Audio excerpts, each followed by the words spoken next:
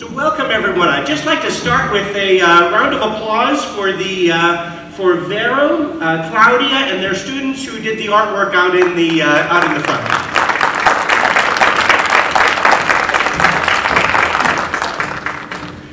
I'm Dr. Andrew Kraus, the superintendent here at ACS, and I'm delighted to welcome all of you and to our General Assembly, and also to welcome all of those that are joining us virtually tonight um, via the live link.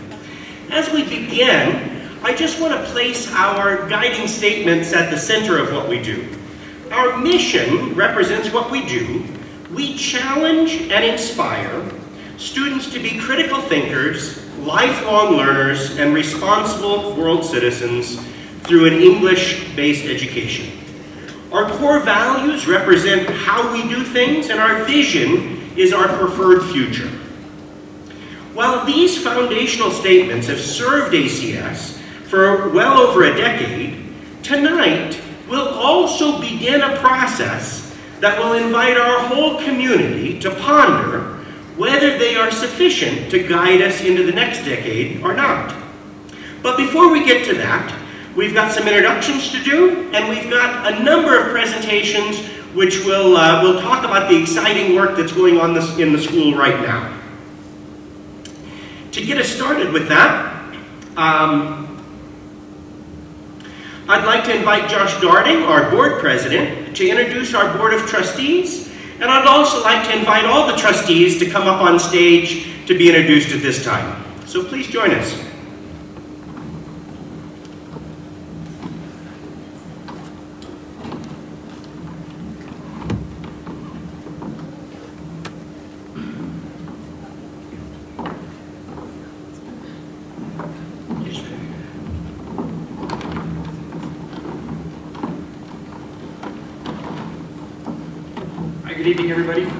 name is Josh Darding. I am the president of the board. Um, Annie here is our vice president. Raise your hand. Um, we have Lena Beltran, who is our secretary, and Martin Martinez, who is our treasurer. Um, additionally, we have uh, Andrea, Tati, Dan, and Leo. And we're all here to serve you guys.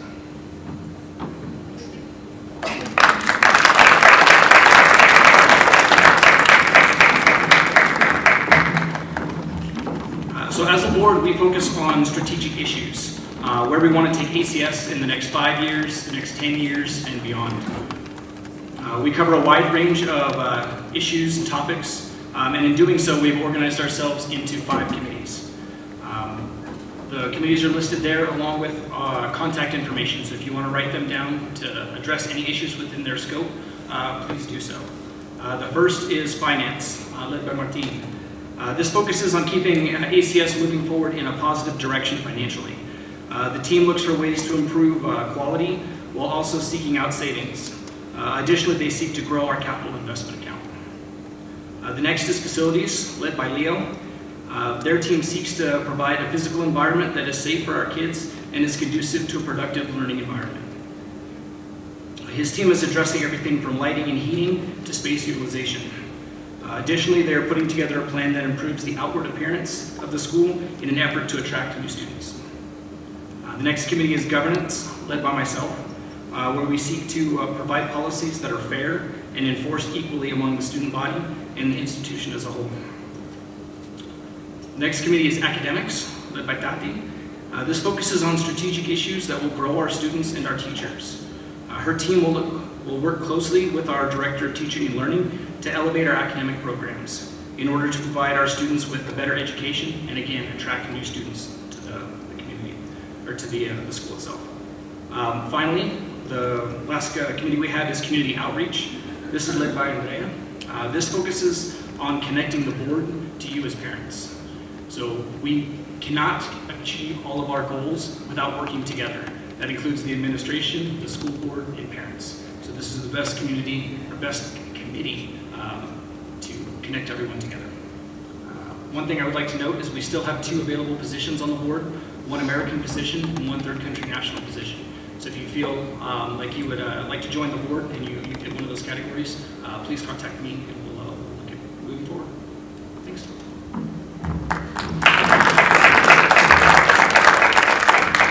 Thank you, Josh, and thank you to our trustees. I, I think, um, you know, we, we often shorten that, that, that title to board member, or the board, rather than the board of trustees, but I really think that full title really means something, that, because the board really holds the school in trust for the future generations of ACS students, and that's really a weighty responsibility. And I thank them for uh, executing that with such professionalism. Um, the conversations with, with, the board aren't always easy. They're, they're, they're often challenging, but, uh, but, they're, but they're always in the spirit of looking, looking forward to um, and providing the very best um, for ACS now and in the future. So thank you very much, um, Board of Trustees. Um, Today we're going to move um, in some ways from the nuts and bolts to the more, uh, to the more abstract. And, uh, and the uh, one place where the nuts and bolts is always very visible is in our financial um, uh, results. And so I'd like to invite uh, Daniela Gonzalez-Quint, our business manager, and she'll tell us about the financial health of the school. Welcome, Daniela. Good evening, everyone. So today I will make some updates in the financial part. As you can see in the graph, the total amount of debt as of September is 495,000 we can also say that during the pandemic years, the total debt was around 600,000. As you can see now, this amount has reduced in recent years. All these given the collection policies implemented by the school. For this school year, our budget is around 5 million US dollars, which as of September, 16% has been spent. As of September, we have 575 students enrolled elementary with 293, secondary with 282. Till the end of the school year, we are expecting 590 students. During the first quarter, the school has carried out maintenance on facilities. The total amount spent to September is 110 US dollars. There is still work to be done, so the estimated budget for this is around 75 US dollars. $5,000. Last August, our playground was inaugurated with a total cost of 75,740 US dollars. At last year's gala, $19,084 were raised. All these thanks to the special support of our community. The school incurred a cost of $56,656 to complete this beautiful project our plan. Next, I will pass the microphone to my colleague.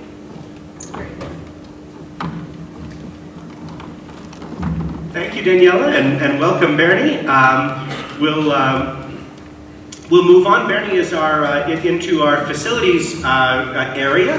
Uh, Bernie uh, takes care of all of our facilities, including um, the maintenance team, but also looks after the security and health provisions at the school, as well as the, uh, the infrastructure associated with technology.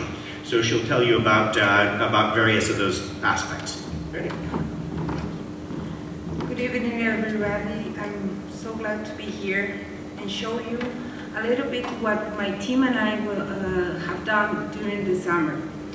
Um, on May, uh, hydraulic test on our stormwater and sanitary sewer system were made all around the school.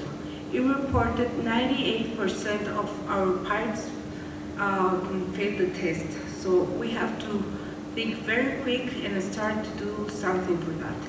The most important part was elementary, and we divided this big work in three stages. The stage one was done, as I said, in elementary, so there's a few photos here so you can imagine uh, how, how big was the work.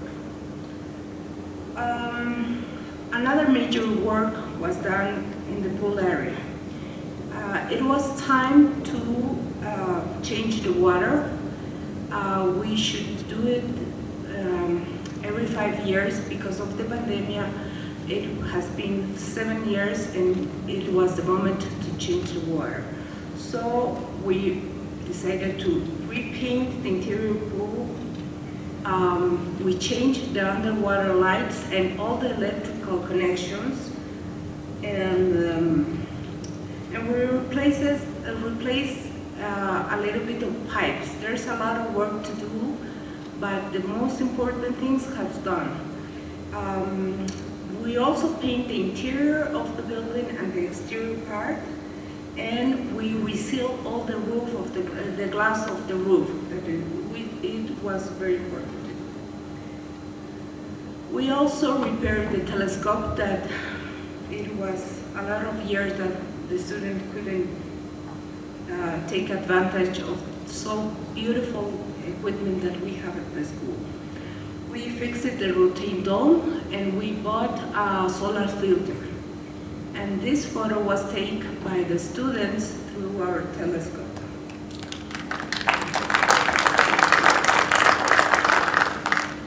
Additionally, the routine of end of the year maintenance has been done.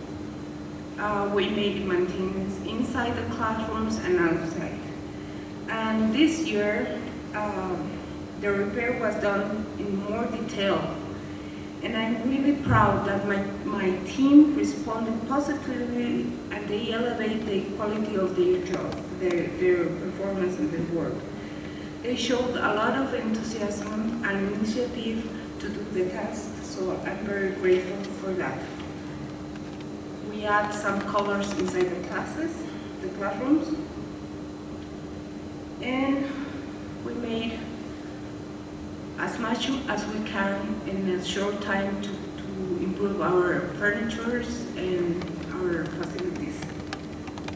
Um, we also continue this summer as much as we can, uh, changing the lights through um, converting to LED. We didn't um, end this task, but we are keep doing that. And we are also um, we are taking care about the electrical connections around the school that are very old. In the administration office, we reorganize the offices and we do, we do some maintenance also.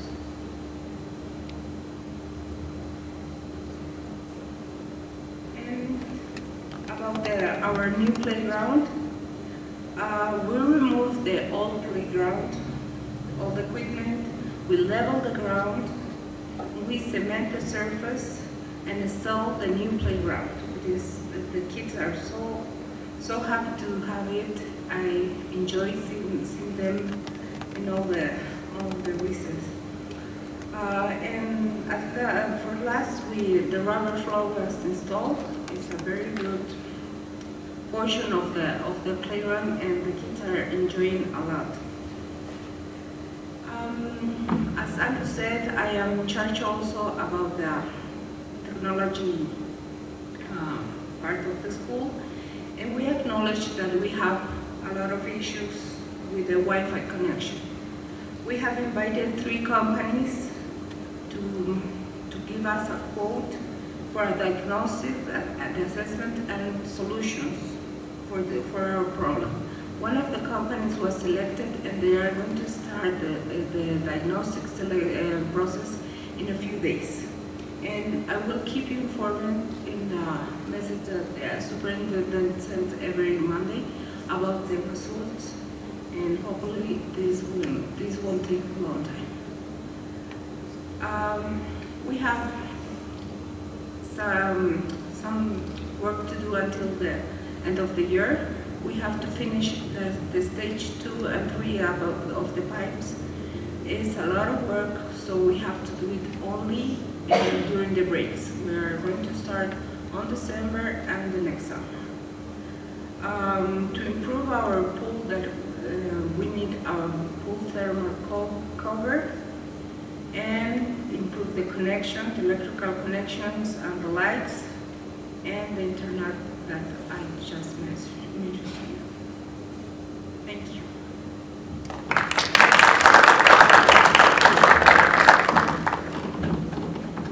Thank you, Bernie, and also thank, thank you to your team. I, I, I just want to say uh, um, a, a, couple words about Bernie and her team. Bernie has, uh, has really brought the team together and had the team uh, really form as a solid team. Um, she, they have uh, been training on a variety of, uh, of additional tasks, as well as they've even been involved when we've had vacancies on the maintenance team, they've been involved, brought into the interviewing uh, even, so that they, they take a lot more ownership of, uh, of this area of the school. And so I thank you, Bernie, for your leadership there also.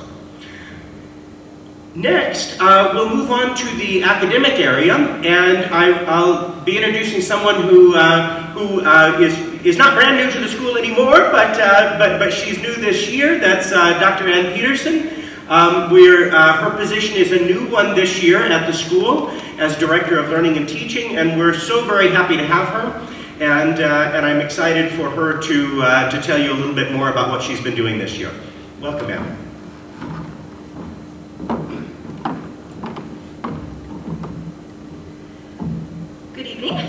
thank you all for taking the time to attend our General Assembly.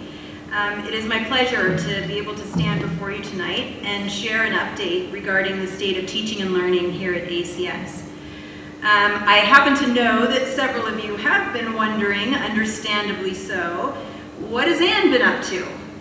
Um, and while this evening I won't be able to um, provide an exhaustive report, I definitely will be able to shine the light on some key undertakings and accomplishments and plans for the future.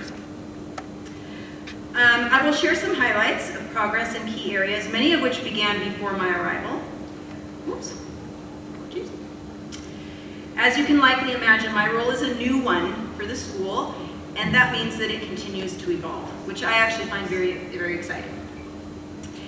Um, I want to, before we dive into academics, I want to share with you that I stand before you this evening with my heart being full of gratitude. Even before my arrival, I felt very fortunate to have been selected to fulfill this inaugural role for ACS. And it brings me joy to be able to share with you that since joining ACS, my gratitude has grown even further. I'm very grateful for the warm welcome that I have received from students, colleagues, and parents. I'm grateful to feel faith and trust that many of you have in me and in the team. And I'm grateful that I feel confident that I will be able to continue to garner faith and trust from this community as our work together continues. To close this note of gratitude, it would be hugely remiss of me to not mention the immense gratitude I have for the senior leadership team. I really feel like I've won the lottery. Although we've been only collaborating for a relatively short period of time, I value the team wholeheartedly, and perhaps most importantly, I feel valued in return. I'm confident that our strengths will continue to complement one another as we create the future of ACS together. So to the leadership team, thank you. Um, as I've been as I've been listening and observing and getting to know our school and community, I have been thinking about the Japanese art of kintsugi. The translation from Japanese of kintsugi means golden joinery or repair with gold. And this technique involves taking broken pottery and rebuilding the piece. And this is my favorite phrase, with the result being a new, more beautiful version of itself. This technique transformed broken ceramic or pottery into beautiful art. It enhances the break lines with gold, giving the mended broken pottery a more beautiful and unique presentation. Kintsugi art is associated with the notion of rebirth, and this is why I've been thinking about it while here at ACS. The two words that continually come to mind as I contemplate the work ahead for our community are both opportunity and renewal. Our school has experienced challenging times, and these times have left us with chipped and broken pieces. I am hopeful that just like the art of kintsugi, we will embrace this breakage, pick up the pieces, and create a new and more beautiful version of ACS. Okay, so let's transition into the nitty gritty of the academics.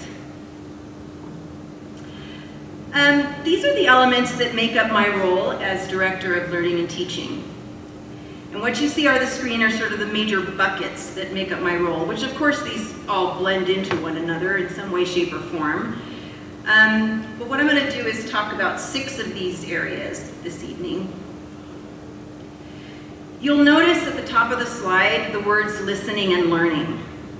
And my first response when I'm often asked, okay, well, what have you been up to? is that I say I've been listening.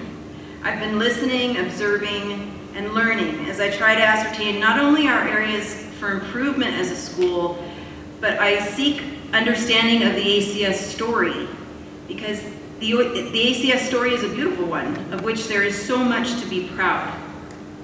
I, I've been in multiple international schools and I have experienced firsthand what happens when leadership comes in with ideas, most of which are very solid, but fails to first seek understanding prior to leading change. So while there are concrete examples of accomplished tasks thus far, I think it's important to, to know that I have spent and I will continue to spend time getting to know our community through fully invested listening and observing. As with many aspects in life, I believe in finding the right balance, in this case, finding the most impactful and successful pace of change. Um, with regard to academic policies and practices, I have learned that we are in need of either thoroughly reviewing or even creating policies and practices that follow along from those policies in these key areas, assessment, language, learning support, and academic integrity. We are not currently in alignment, and when I speak about this, I do mean from the full school perspective of early childhood all the way through to our graduates. So we're not fully in alignment in these areas. We don't yet have common understanding. We don't have solid philosophical underpinnings. So this is work that is ahead of us.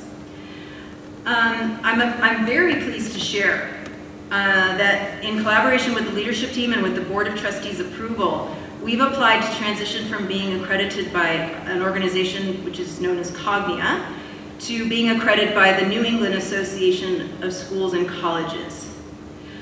Our rationale for this change is founded primarily on personal experience, knowing the quality of the NEASC process firsthand. We are really confident that this is going to complement our strategic planning and program improvement processes in both the short and long term. We are continuing our partnerships with two external consultants this year. Steve Barkley, who is assisting us with professional growth providing cognitive coaching for members of the leadership team and beyond, and with Nicole Fedio, who has been instrumental in leading a thorough review of our mathematics programs and practices. Through Nicole's work, we have two newly created sections of mathematical explorations through problem solving, designed to bolster student confidence and capability in mathematics in the middle school. And Nicole is also leading the secondary team in considering how we can restructure our pathways in mathematics in the middle and high schools. Nicole is collaborating with teachers, which includes providing demonstration lessons with our students, which is one of the most effective ways for teachers to improve their practice.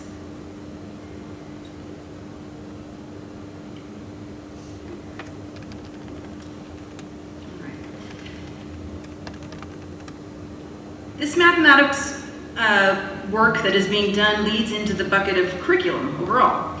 When we think about curriculum, we think of it as the overall experience of the learner, which means it contains pretty much everything. Um, as we've gathered input on the state of the current curriculum, we recognize the need to conduct a thorough curriculum review process. So we began by developing the criteria against which our curriculum would be reviewed, and we organized that criteria into three categories. The written curriculum, our approaches to teaching, and our approaches to learning. We've begun the review process by starting with the elementary school team, providing feedback on the state of the written curriculum. And just as an example, from the data, we're identifying priorities, one of which we have already realized is in the area of social studies. The secondary school will be contributing in the same manner, and the process will continue with the formation of smaller committees who will create and manage action plans based on the data gathered. I understand that the school began the process of considering the adoption of the International Baccalaureate Diploma Program for grades 11 and 12. This is an undertaking that must be considered thoroughly and carefully and should arrive from the school's curriculum review and the strategic planning process. If the school does indeed determine that this could be a positive move forward for our school, I would just like to assure the community that that, trend, that, sort of transition would be meticulously planned and executed. It is not something to take on lightly. Um, I would like to just put a little um, shout out to our uh, early childhood team, KG3 to KG5. Um, they are often referred to as ECE, Early Childhood Educa Education um, for their desire to collaborate with one another and, and transition to a more inquiry and play-based program. I often say that all learning environments should look like early childhood, where students are led by curiosity and guided towards gaining knowledge and understanding through outstanding facilitation. And I really look forward to continuing with the work with the team. Um, when it comes to professional development, we have continued to fine tune the work that began with Steve Barkley. And so we have teachers that are working on individual or team and or team uh, professional development goals. I would really like to share with you today that we had a wonderfully successful event. We, had, we hosted um, a teachers teaching teachers workshop. And the excitement around what everyone experienced this afternoon from 3.30 to 5 was really palpable. And we had such positive feedback. So I want to thank our teachers, our, our presenters who, who uh, volunteered to, to present and share their knowledge and expertise. And I can uh, say really with assurance that people left this afternoon feeling, feeling very grateful and feeling that their time was spent in a very useful manner. Our teachers learned from one another. The workshops ranged from food security to using film in the classroom to AI to visual journeying to juggling and, and even more. So again, thank you to our teachers.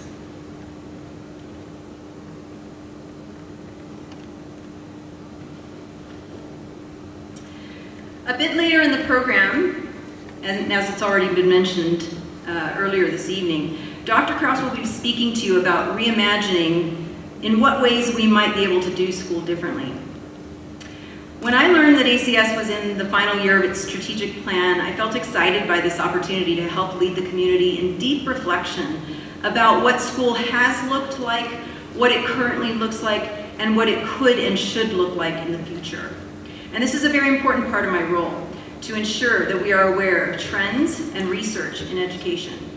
Schools in general are historically slow to change we are fortunately reaching a point in our human development that making educational change is essentially an imperative. Uh, three publications I happened to read this week. Uh, one from the National Center on Education and the Economy, one from Ernst & Young, and one from the Organization for Economic Cooperation and Development, all concerning the future of education. They all emphasize our mandate to reimagine and restructure. This is just a sampling of some of the words used throughout these articles, all of which are elements that we here at ACS need to be giving ample attention to as we imagine what ACS will be like today, tomorrow, five years, 10 years, into the future and more. I believe that currently all of these areas listed here are areas of growth for ACS.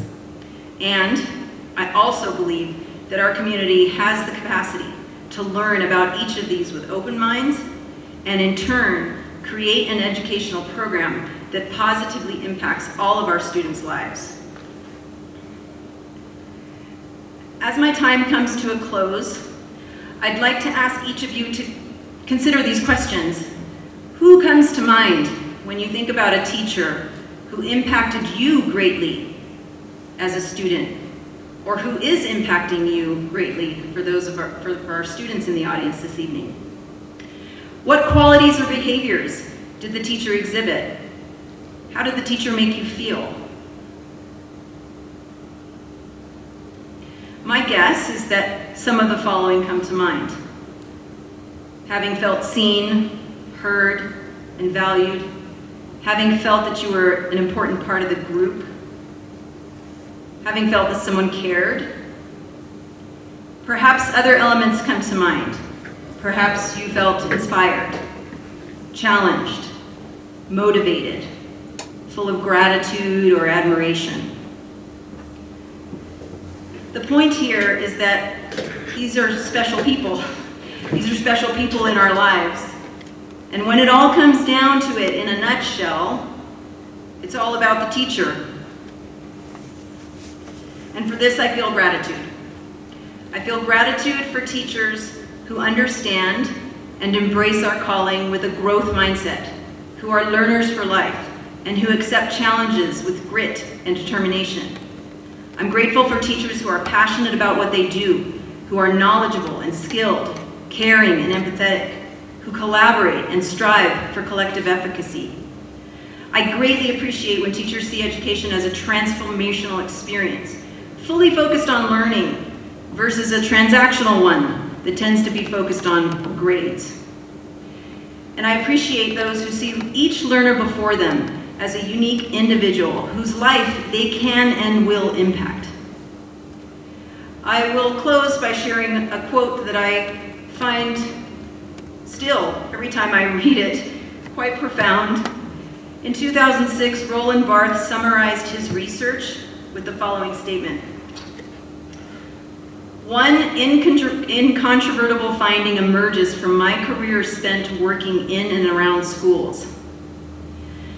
The nature of relationships among adults within a school has greater influence on the character and quality of that school and on student accomplishment than anything else.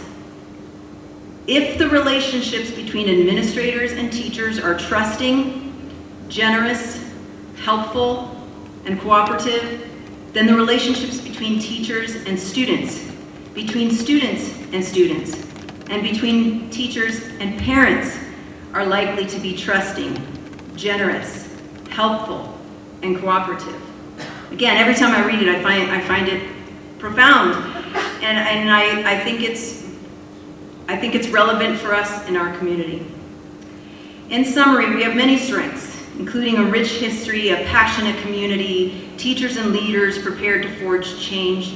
We also have areas for growth that include developing a collective innovator's mindset, establishing commonly held beliefs about teaching and learning, and perhaps most importantly, collaborating on a foundation that is built uh, on trust.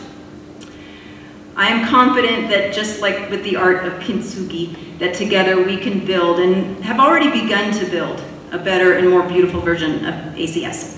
Thank you so much for your time.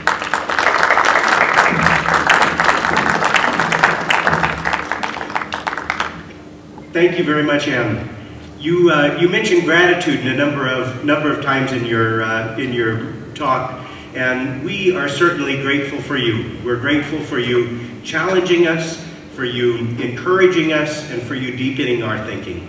And we're better, a better team for it and a better school for it. So thank you. At this time, I'd like to, uh, I'd like to invite um, our new elementary school principal who, uh, who it's my first time also introducing at a General Assembly, um, Eric Crabtree, to, uh, to come up and tell us a little bit about the state of the elementary school. So Eric, welcome.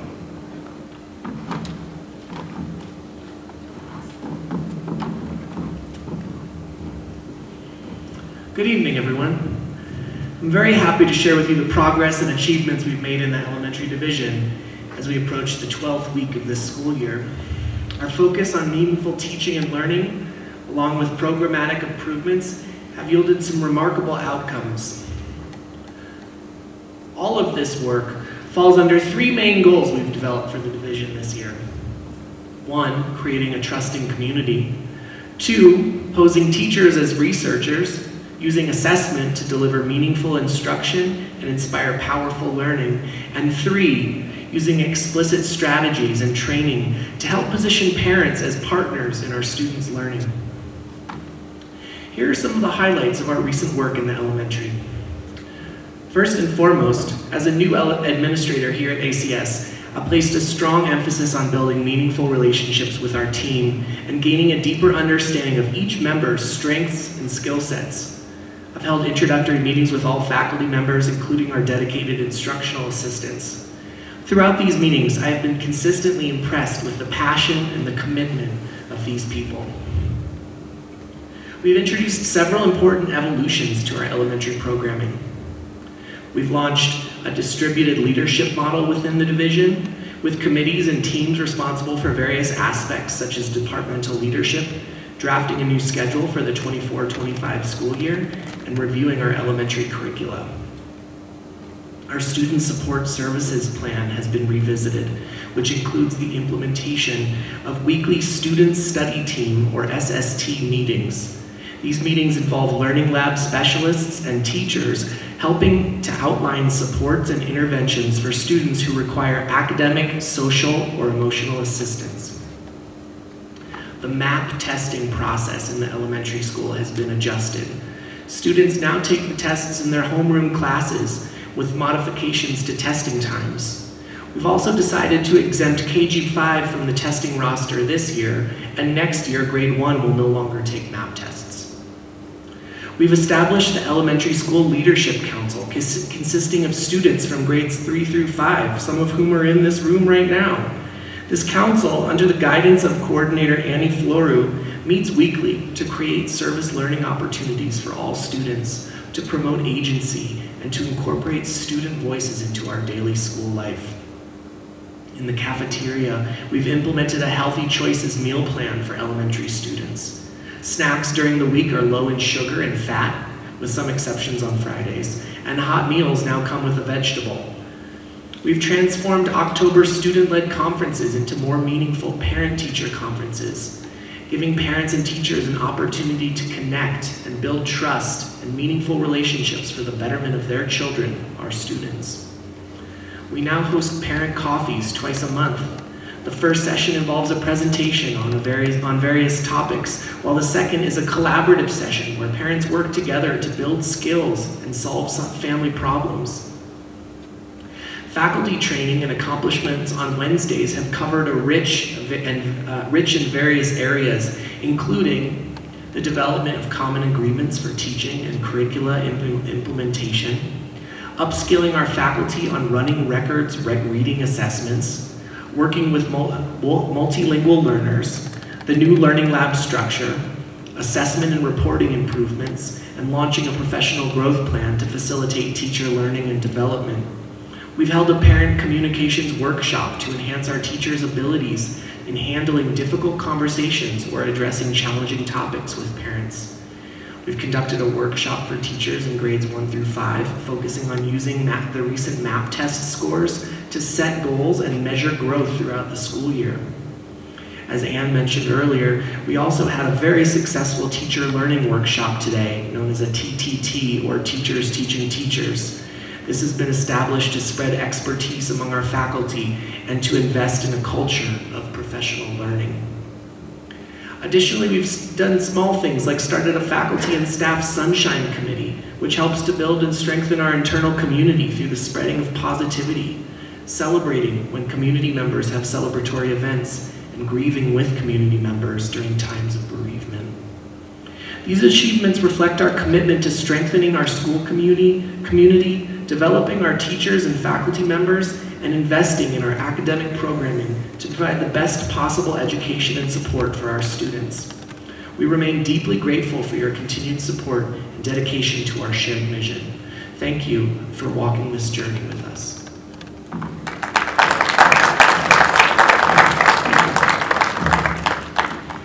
Thank you, Eric. If, if you've gotten to know Eric at all, you've, you, you know that he's a dynamo of activity. He, uh, we, we, thought maybe the uh, bicycle accident would slow him down, but not, a, not, not at all.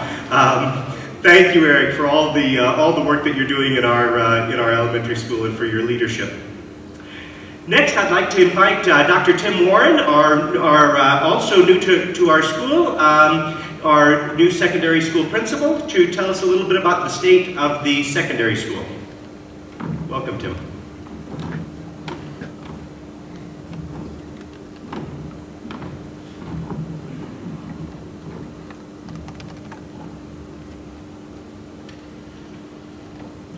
Good evening.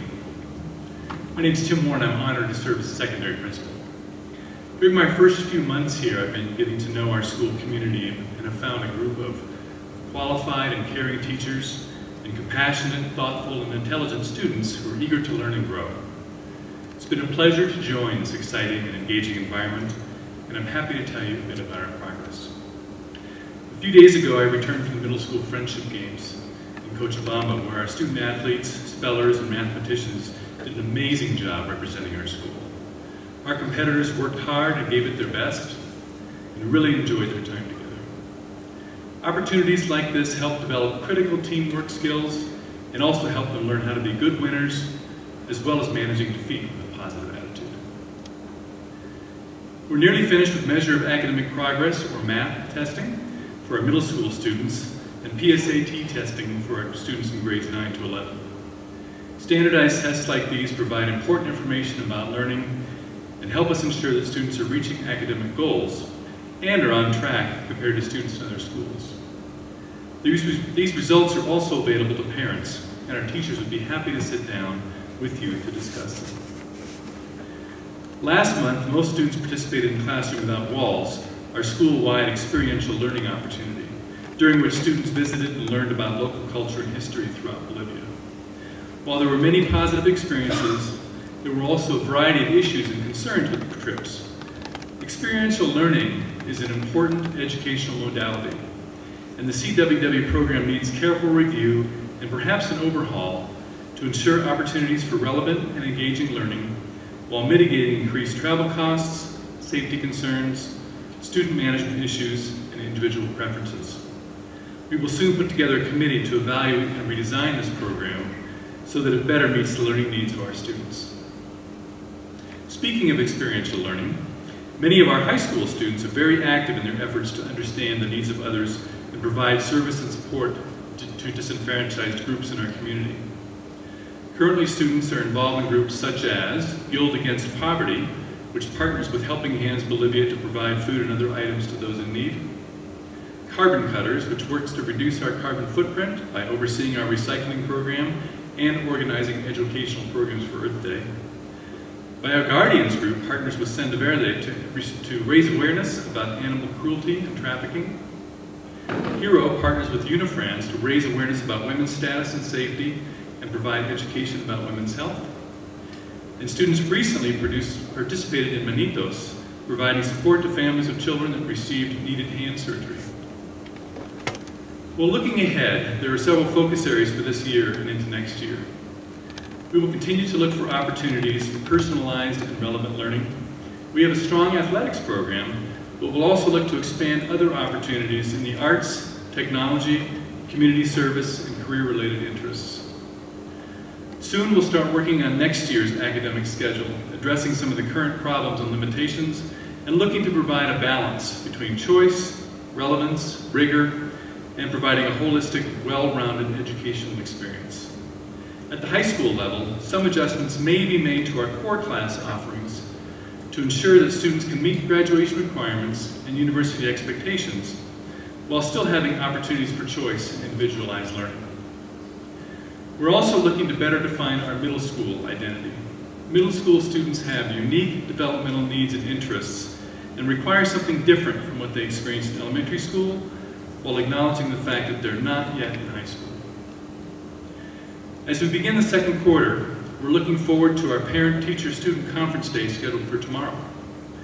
We know that parents are essential partners in their child's learning, and we're hopeful that making these connections, while it's still relatively early in the school year, will help build the support needed for the success of our students. Thank you for entrusting your students to us.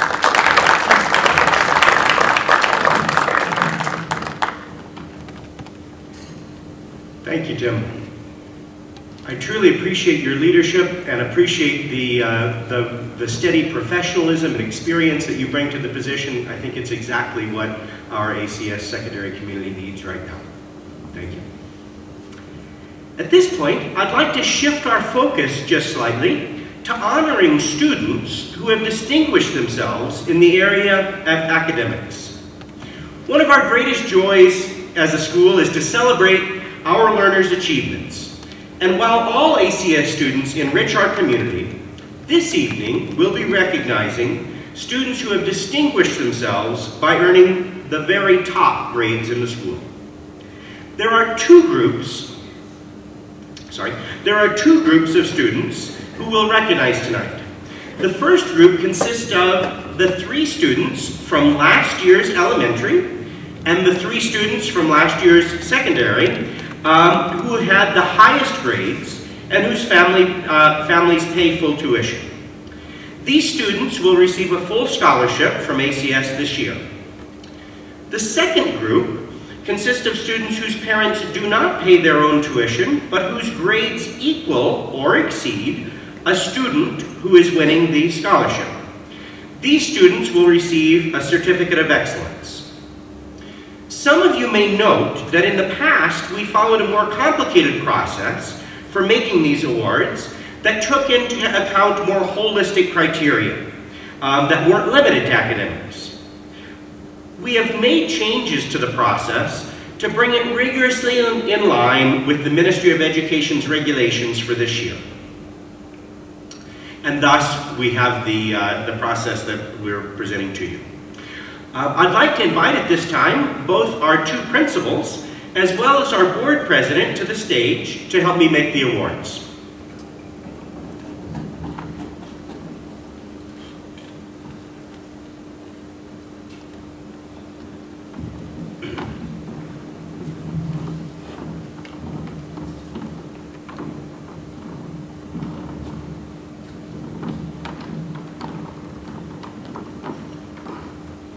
It's my pleasure to announce our award winners in, from the elementary school last year. Azul Monroy,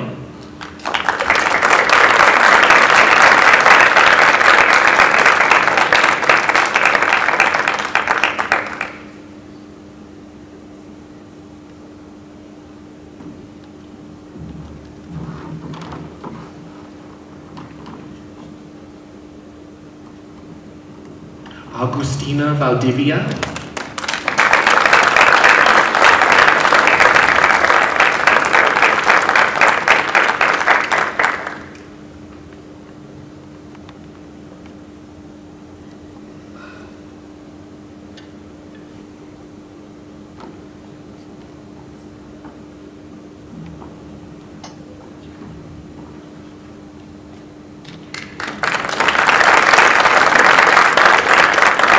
and Claudia Heredia.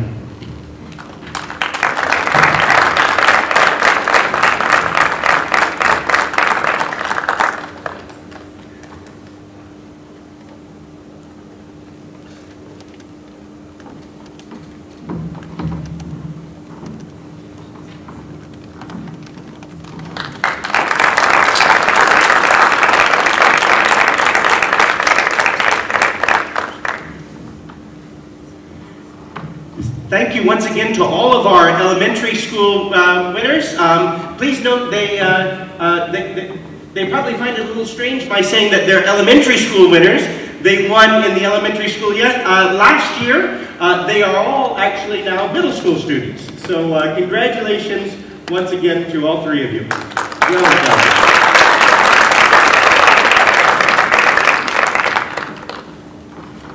I'll invite uh, Dr. Warren to now present the, uh, the names for the secondary award winners.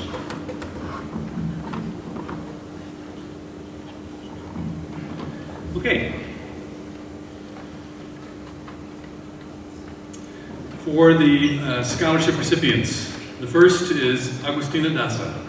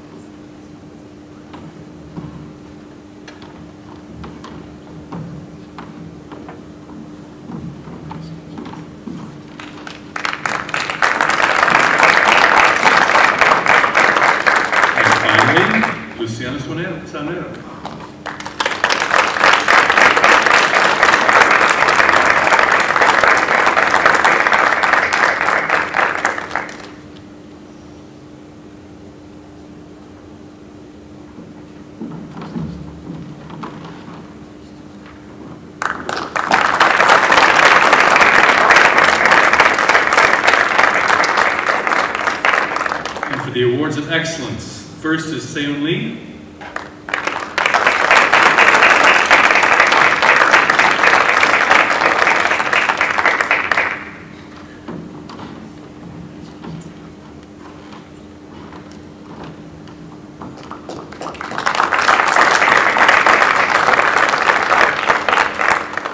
And second is Olive Levine.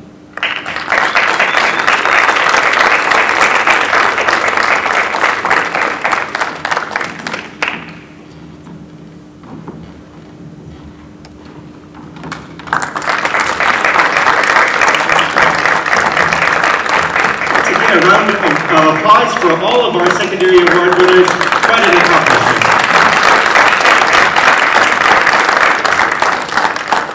Thank you.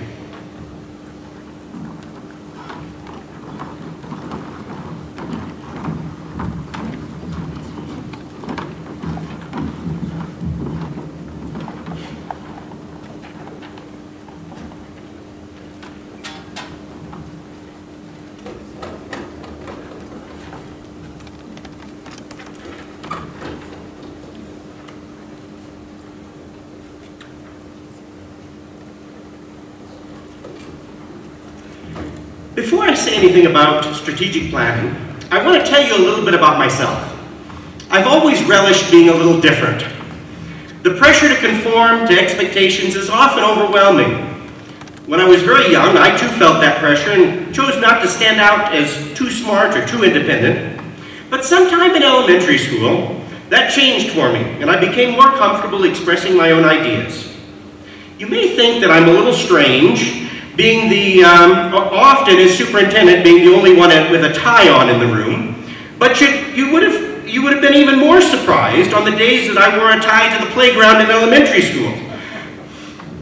It, it seemed a little more strange then, particularly when I convinced a group of my friends to do the same thing.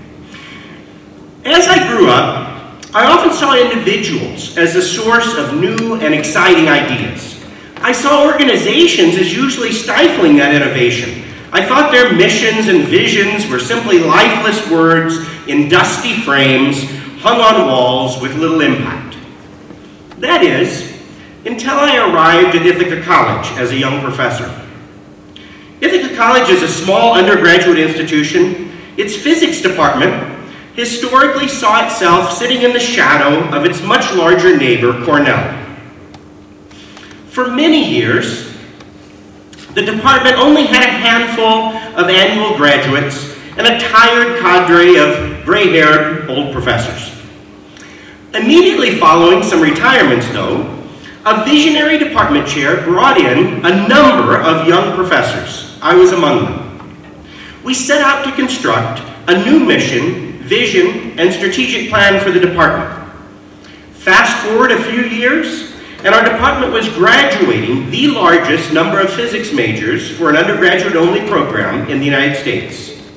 Our department had become a shining example within the uni university, and our students were presenting research at conferences around the world. Since that time, I've truly believed in the power of innovative strategic planning when it's done with intentionality and consensus building across stakeholder groups. I'm sure many of you have worked in environments where innovative ideas were not given fertile ground to grow in, but I hope some of you have had the great fortune to work in organizations where great ideas thrive. Before I speak about how we can work together to grow an environment at ACS that looks like the latter and not the former, I want to tell you a cautionary tale that comes from a book called Zorba the Greek.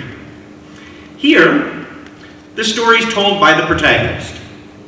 He says, I remember one morning when I discovered a cocoon in the back of a tree, just as a butterfly was making a hole in its case and preparing to come out. I waited a while, but it was too long appearing, and I was impatient. I bent over it and breathed on it to warm it up. It warmed it, I warmed it as quickly as I could, and the miracle began to happen before my eyes, faster than life. The case opened. The butterfly slowly started crawling out. I shall never forget, with horror, when I saw how its wings were folded back and crumpled. The wretched butterfly tried with its whole trembling body to unfold them. Bending over it, I tried to help it with my breath, in vain. It needed to be hatched out patiently, and the unfolding of its wings should be a gradual process in the sun. Now it was too late. My breath had forced the butterfly to appear, all crumpled, before its time. I struggled desperately, and a few seconds later, or sorry, it struggled desperately, and a few seconds later died in the palm of my hand. That little body is, I do believe, the greatest weight I have on my conscience. Now I think ACS is a little bit like this butterfly. ACS was born in the 1950s, grew up in the 1960s and 70s, and by the time the 80s and 90s rolled around, ACS looked like a beautiful caterpillar, thriving under the leadership of Herm Penland. Many of you remember it. As, at the turn of the millennium, ACS faced a number of crises, financial, political, and demographic. It built a cocoon around itself and tried to stay the same and not change in response to the chaos swirling around it. Now, ACS finds itself at the dawn of a new day. We have capacity that we've never had before. On the educational side, we have leaders with eminent qualifications who have led at prestigious institutions around the world. We have a non-academic team who has corrected inefficiencies and brought the school out of a state of, of neglect. ACS is now that butterfly getting ready to emerge from the cocoon. It's a delicate and dangerous stage, but our whole community, including myself, is filled with excitement for change. I see two pitfalls that could stop our progress. First, in our haste for change, we might try 10,000 things at once, blowing on the cocoon, picking at it, and drawing out the butterfly with all kinds of prods, only to find it lifeless in our hands. Instead, we must strategically focus our efforts. Secondly, in our nostalgia, we might not be bold enough. We might look into the past and paint the cocoon to look like the beautiful caterpillar from years ago, but simultaneously stifle the life in the, of the nascent butterfly. Thus, not ever recognizing the audacious possibility of what ACS could become and how we have all the ingredients to make a bold leap forward right now. For ACS to realize its full potential as an emerging butterfly, it needs your help. We need to collaboratively create a vision for the future, ACS. It's not for me to develop that division, that, that, that vision. I'm just a, care, a caretaker. Even if I stay as long as Herm Penland did, I can never duplicate the generational connection that many of you and your families have to our school. We need our whole community to build consensus about what ACS should, could, and will become. So how do you help? First, commit to allowing that butterfly surrounded by natural advantages with which we've provided it emerge and spread its wings to its true potential. Please join me in, in choosing to do this. Secondly, if you believe strongly in an innovative future for ACS, and you're willing to help build that consensus among our community to make that future a reality, I invite you to express your interest in being part of a steering committee for our new strategic plan. You can do that with the QR code that's on the screen. We'll also send it out to everyone soon. The commitment for, the, for that committee will be for one meeting a month until the end of the academic year and some additional work between uh, should be expected between the different meetings. The first task of this team will be to build community consensus in answering whether our current mission, vision, and values are still the right ones for ACS. The next steps will start building path, the pathways to realize that preferred future. Some of those pathways will be academic. Perhaps the IB will be a part of that route. Others will be financial. But one of those pathways is particularly exciting because of an incredible advantage that one of our parents and board members gives us. Leo Verone, the chair of our facilities committee, happens to be an architect at one of the preeminent firms that design schools around the world. I'm going to invite Leo to address us now about the extremely exciting process of taking a mission, vision, and core values built with consensus and turning them into physical structures with glass, bricks, wood, and stone. Leo, welcome.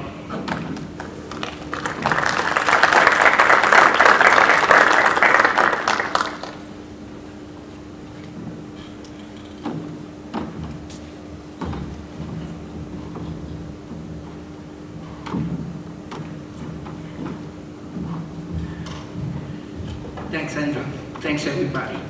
Um, first of all, before uh, we start with this um, last part of tonight's presentation, I want to just spend a few words on ACS, both as a new parent of two young children and also a new resident of La Paz, but also based on my experience of over 20 years working as architect and planners on uh, building many many projects and working on many school renovations. Um, what I want to say is that ACS has a beautiful uh, campus sitting at the foothill of incredible mountains with views overlooking the city of La Paz, surrounded by the Cordillera Real and its incredible peaks. But also, if you look from above uh, the campus of ACS, uh, it features a lot of open space and grounds and, uh, and fields, uh, which is a great, great value for a school.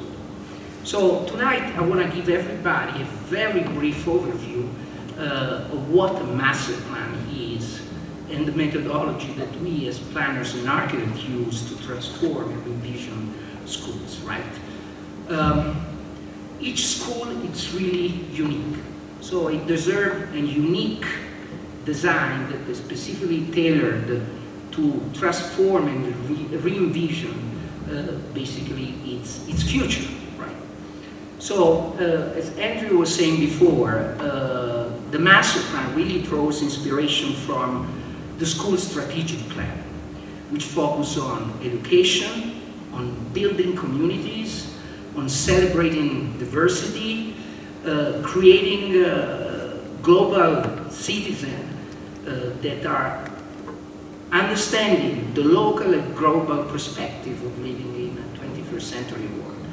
But also, and this is very dear to me, uh, um, the plan focuses on creating a sustainable school and community where children uh, live in, uh, in learn uh, and spend most of their days in a very healthy and safe environment. So, as Andrew said before, uh, the strategic plan, which is the key tool for uh, creating a, a new and better school, focuses on a mission, on a vision for the future, establishing and confirming core values, and creating a consensus-based approach on defining the goals. How do we want to make ACS of the future, right? And then the last part is implementation. How do you transform these goals into actions into um, uh, tangible reality, right? And here it is where the master plan process uh, comes in. So some of you may have no idea a master plan is, right? Uh, it's a document, it's a set of drawings, are images. It's a process, okay, that is collaborative, consensus-based, and really requires the inputs, feedback, and collaboration of the entire school community. This is why Andrew was asking everybody collaboration. That is key for the success of the master plan, of the strategic plan, and a better ACS in the future. So at the end, the master plan provides a long-term framework for the school's future growth and development. So the master plan focuses different in many areas, uh, from learning to teaching to creating a strong school community and really to create a future and global citizen of the world, where the word sustainability and environmental stewardship it's really key. So the master plan philosophy that we use is research and experience based. We want to design a school environment that is focused and centers on our children, the students, their health, their wellness, their well-being, their safety. So we want to focus on the whole child, the children. Uh, our uh, goal is to engage the school community, the stakeholders, you parents, the students, you know, the faculty, the staff, the leadership. We want to better understand the local context within the global context. And most importantly, we strongly believe that well-designed school and school environments are really critical and have a major impact, positive impact on the student experience and learning. This is just an example. This is a school that we designed in Washington, D.C., Dunbar High School. Uh, Dunbar has been considered the greenest school in the world. It has achieved 91 out of 100 LEED credits, which means it's basically, as I said, the most sustainable school in the world right now. The US Green Building Council, which is uh, uh, the global Uh, sustainability certification institution, has defined Dunbar as a masterpiece for a green learning environment.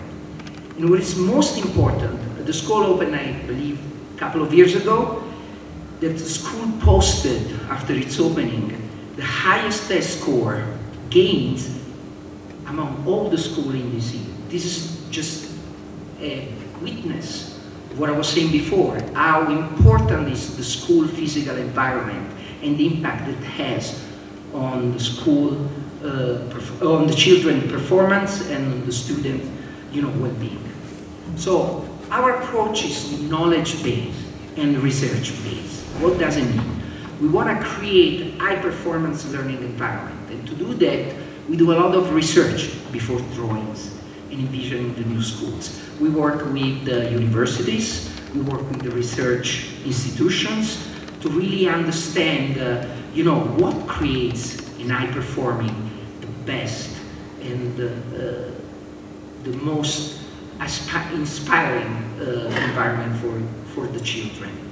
So just let me spend a few words about high performance environment. Classrooms, a library, uh, an academic space needs to have certain levels of daylight, of natural light. We want to avoid lighting glare that can blind the children. We want to make sure that the children who spend most of their early life in a classroom they feel comfortable in terms of temperature, humidity. We don't want classrooms that are too noisy, right? And most importantly, we want to make sure that they, they breathe fresh air. The level of CO2 needs to be below a certain level. It's scientifically proven that uh, the better and the more fresh air there is in a classroom, the student's performance is higher and they feel better, they are more engaged. So, what are the key elements in the main phases of the master plan? First of all, and I go back to what Ann was saying before, uh, we as a newcomer, the first thing we want to do, we want to listen. We want to understand. We want to learn what ACS is about in this case, right? Uh, the history, the value, their mission.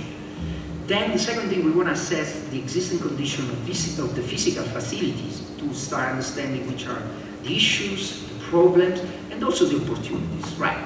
We want to start looking at the uh, current program with the, the school and academic leadership, understanding the potential for enrollment growth, the changes, the addition, and we want to do also what we call the benchmarking, which is, is looking at the other schools, both locals and globally, to see how uh, ACS uh, falls into. The second part is again about listening, learning, and sharing with you, uh, because we want to know what the community, the parents, the teacher, the administrators, cleaning people uh, want ACS to become. This is really critical, and we do that with different uh, means and tools, like we're going to send around surveys about what you like, your hope, your dreams. We're going to have interviews with specific uh, leaders, but mostly we're going to have focus groups with the different stakeholders. And those are represented by the school leaders, uh, the principals, but mostly by the students. We want to hear from them. They are the main users. And we want to hear from you, hear from you, the parents, the alumni. That is really critical because, again, the master plan process is consensus-based and is collaborative. And finally, obviously, the master plan implementation, right, which is made of different phases, starting from uh, understanding uh, uh, the buildings, the site, start developing designing principles, um, concepts, and finally developing what we call a final master plan, which is the physical roadmap for the growth and the future of ACS. So I really uh, love this picture that I think dates back to the 50s when first ACS came to, to campus. And this is an example of what we want to learn about, how the school came about, uh, its initial vision, their values, also, we want to assess, uh, assess, as I said before, the physical conditions of the schools, particularly the academic spaces, the classrooms, the libraries. We're going to basically look at different type of spaces and actually score them uh, based on different factors. Uh, natural light, size, thermal uh, um, conditions, so on and so forth, to get a better sense, a snapshot of you know, the existing conditions comparing to the other school, comparing to the baseline and understanding where we are and how much, how much work we need to do to really improve the physical conditions. Uh, one of the first steps would be understanding the current academic program, if the classrooms and the academic spaces are big enough, if new programs uh, needs to come in, looking at 21st century pedagogic uh, uh, you know, goals, we want to see also, you know, compare the programming of ACS with other peers and competitors.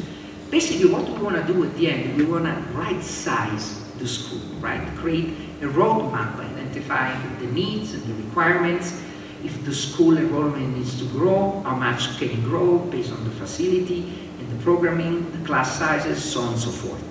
So the programming aspect is really key to look at the future in the innovation is the cornerstone for a master plan.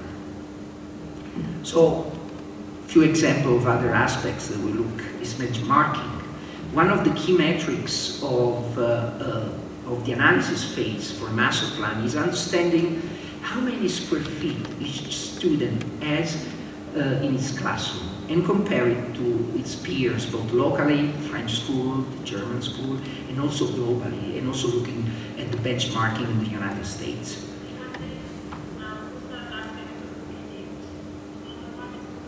This is just an example of one of the workshops with parents and students to talk about the future of the school, hopes and dreams, ideas, suggestions.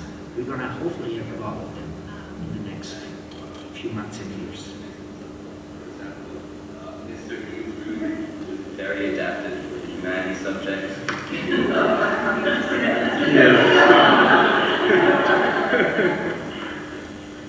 so these are all questions that we really need to hear from you, the parents, the students, the administrators, everybody. So there's going to be there are going to be a lot of meetings, focus groups, and that will help really the uh, school administrator and leadership, uh, the designers, the planners, to develop a series of what we call design principles, which are the way to translate vision, goals into actions, into projects, into improvements. And we start looking at the physical aspect of the school and, of the campus, looking at access, arrival experience, security, solar orientation for the well-being of the students in their classrooms. And again, all of this work and discussions and ideas will then uh, trickle down and create a series of design principles that will represent the framework based on which the master plan will be developed, the plan will be drawn. And in the future, they will become the reference point if in 10, 20 years, people will, will start asking why you did this. So the last part of the presentation, hopefully you are not bored enough, I want to show you just a few examples, of some of the uh, projects that we did um, uh, all over the world and especially in uh, Latin America. As I said before, uh, my firm has over 40 years of experience in designing schools, uh, over basically 60 schools internationally in 22 countries, and again, we designed the two greenest schools in the world. And both of them, surprisingly enough, are in Washington, D.C. Dunbar, that you saw before, John Lewis Elementary School.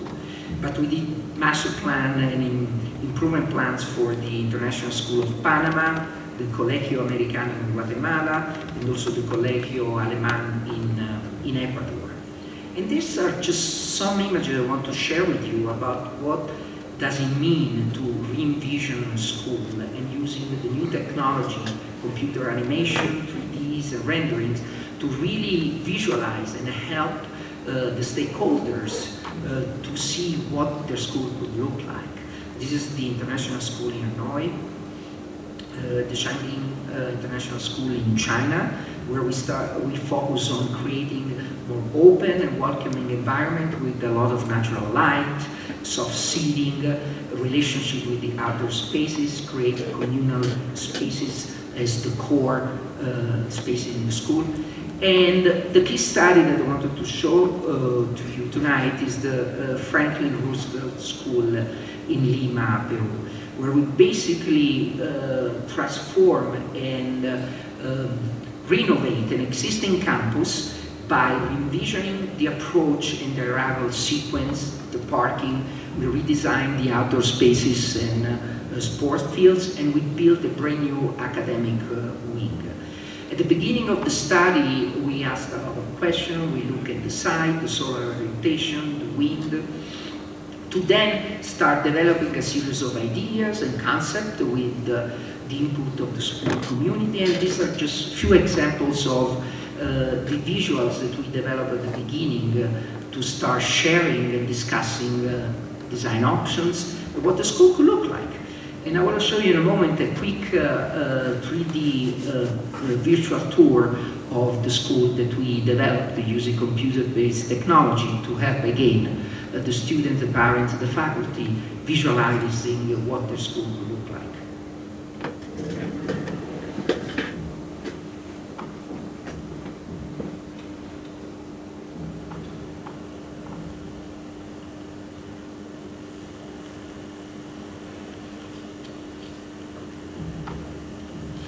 Again, these tools nowadays are very, very helpful. So before we used to do physical models or drawings.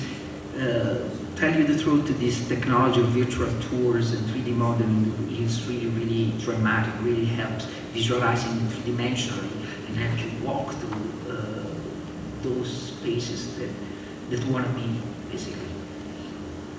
And again, and this is the end result of that work, uh, the actual design of the school. We focus a lot of uh, on open spaces, on natural light, on create uh, outdoor classroom from the uh, for the children, communal spaces where the entire school community can gather.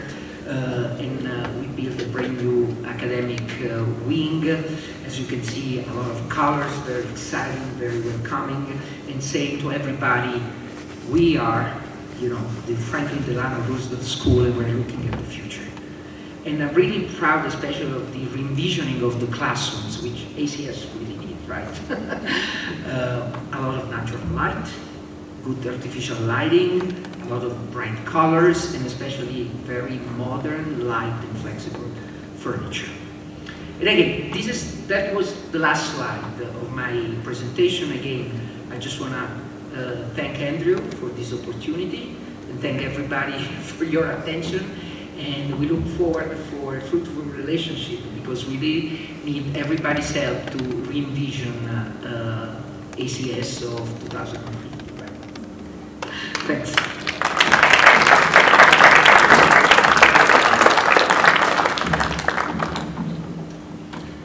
Thank you, Leo. I think that's, uh, I, I, I think I won't be alone in saying that that's truly inspiring. And, uh, and, and, and when I say that we, that we need to think big and think aspirational, not looking to the past, but looking to the future for inspiration, I think it's a wonderful example.